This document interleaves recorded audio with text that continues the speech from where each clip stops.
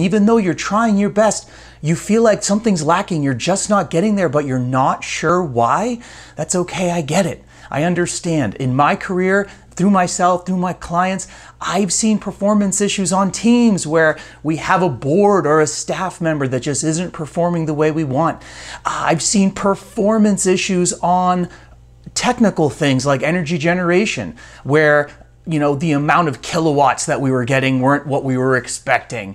Um, how can we see it in relationships? Have you seen a relationship a personal relationship? Maybe with a significant other, maybe with your children, maybe with your parents, where you see that you're just not seeing that growth where you want it to be. You're just not seeing it move in a direction that you feel is right.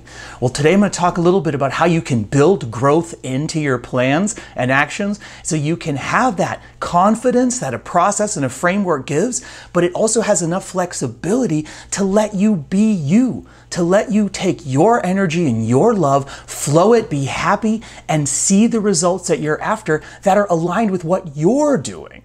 Does that make sense? So many times we see a procedure or a plan that just doesn't fit our world. This plan works no matter what you're doing. And I'm going to show you the four steps to get there. All right, how you can build growth in. So, does it work? Sure, it works. I've seen it work for myself when I lost 60 pounds on my journey to health. I have seen it in my training plans for long rides and competitions between, between when I first got healthy and now. I've seen it in my relationships. Heck, I was brought in to consult to help with the Fukushima water remediation after the meltdown in Fukushima. We were able to triple their system's performance using this exact method. So hang on with me. This is a quicker video and we're going to get you right to the point, all right? What is the old world? The old world values just giving it a shot. Ah, just give it a shot. Good, but not consistent, okay? And that's actually important to remember. It is good to give something a shot. You've got to get the ball rolling no matter what. But if you just keep giving it a shot without any plan or strategy, strategy, it's haphazard, it's all over the place, and it's inconsistent. The, the, uh, the old world wants you to try something new every time. Try this, try that, try the other thing. Again, lack of focus, lack of structure. The old world wants you to stay the course, even if that course is heading to the rocks, right? The proud captain going out and just, I'm going to do whatever I say no matter what. That is foolish, and that is the old way of doing things. The new way realizes that a framework provides you the freedom. You see what I mean? If you have the right framework that you know works, you can build your plan within that frame and you can get there more reliably each time. That's what I'm going to show you. The new world, you don't have to worry about doing the right stuff when you follow this process because you know you are. You have the data, how it's relevant to you. And uh, it prizes smart adjustments. This new model prizes smart pivots and adjustments. Okay? Recognize what's going on in the world and adjust your strategy and your actions to make sure that you are doing the right stuff. Okay?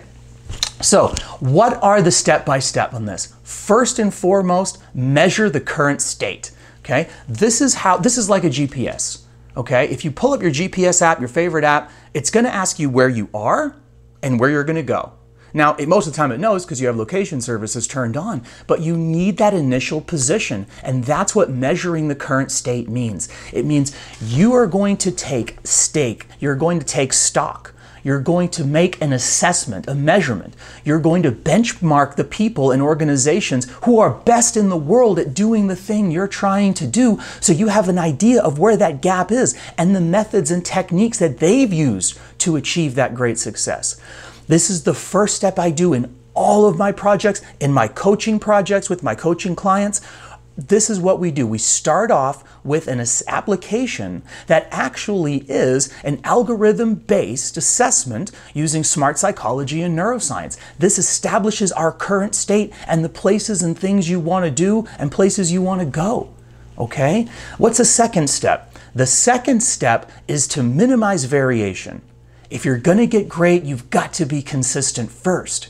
So, what we're going to do is learn how to track what consistency means. And consistency is so very critical. If you have no idea what you're doing and you're not following a reliable process, you're not going to reliably get where you want to go. Just take, just imagine for a moment Amazon, great company, I use them all the time. If you bought something from Amazon and it came through once, great, but the next time it didn't come anywhere close to the right time, the next time they sent you too many, the next time they billed you the wrong amount, they're doing all the same stuff, but they're not being consistent.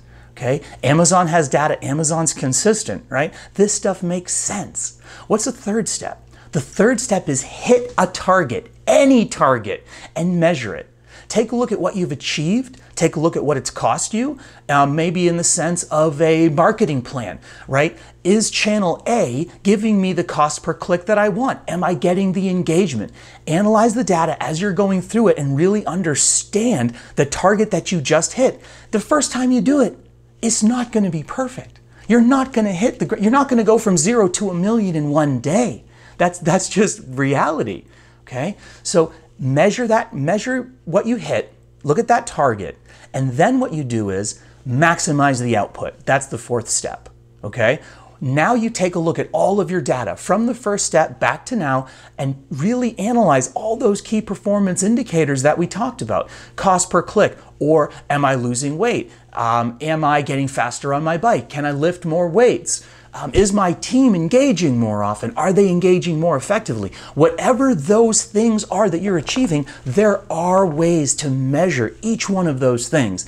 We use online assessments, which can be accessed everywhere by your phone, your tab, your computer, and I analyze them in a specific way so that we can then make and build this growth in. So we know that we're going to get from where we started to where we're looking to end. Doesn't that make sense? Okay, um, do's and don'ts. Do, do your bench work, do your benchmarking homework, right?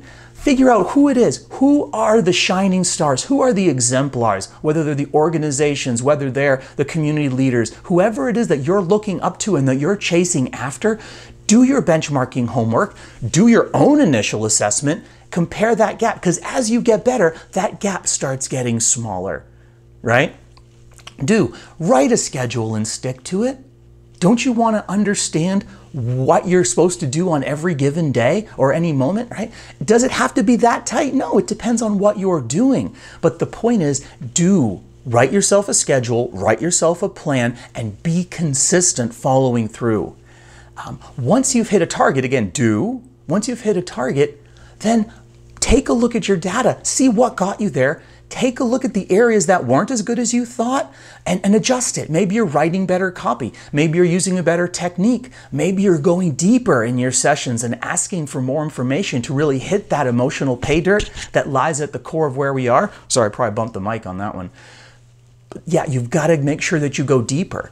Uh, don't don't stray from the plan. If you get a bump in the road in the middle of your plan, work through it. Work through it. Get the data find out what the impact really is, and then adjust when you get to the end. When you're going to come back to the end and look to maximize the returns from your investment, your plan, your project, right? Make sure that you've gone through enough reps so that the repetitions and the work you're doing counts, right? There's no trick to this. Anytime someone says this is a trick, a trick means a strategy with a bunch of work behind it right? And this is a strategy. This is a better strategy that works, it's measurable and repeatable, and shows you how to build growth in. Okay?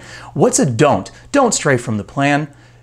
Don't vary your approach too much in the beginning, right? Make a choice and stick with it. Get some data in there so you can make a decision, right? Doing something once doesn't teach you anything. Doing something twice, two data points, always form a line right? You're going to see, oh, that's perfect, a 100% correlation. This is the line of my, all, my whole future. No, no. Do it a third time, a fourth time, a fifth time, a tenth time. Build up a body of data behind what you're doing so you really can see if a day to day variation, whether it's sunny out or cloudy, whatever it is, minimize that outside variation as well by being consistent in your actions. All right? Don't forget to compare how you did right, to how you planned, make sure you do that post mortem at the end. Every time you come around this cycle and you go to optimize the results, right, maximizing the results, you need to adjust your plan in that phase. Then you now that measurement becomes the initial measurement, the current state measurement of your new cycle. So the end of your last attempt ties into the start of your first one. And this is how we take it from coaching, how we get you from being a better mom to owning a business to getting that website up, or if it's I want to get consistent with my health. I'm already making plenty of money because I'm fearless and I just go out there and go after it. Again, not saying that's me, I'm saying this one of the folks that I'm working with, right? But it's really looking for a strategy and a plan to get you there. Okay? So, what are the four steps? Measure the current state, minimize variation, hit a target, any target, and then maximize the results. Okay? My name is Rocco Luongo. This has been Thoughtful Leadership. Thank you so very much for your time. I hope you enjoyed it. Um, check out our website, gorocco.pro. Sign up for a free application assessment for coaching. Check out some more papers. There's a white paper for this. You can sign up and download if you're interested in learning more about it. Thanks very much. I very much appreciate your time. Go you. Thanks for watching Thoughtful Leadership. If you liked what you just saw, we hope you'll pass along our web address, gorocco.pro, to your friends and colleagues. Be sure to check out our podcasts, our channel on YouTube, our social media presence on Facebook and Instagram, and our blog at gorocco.pro. This has been a production of Power Focus Engineering PS and gorocco.pro. Join us next time for another edition of Thoughtful Leadership.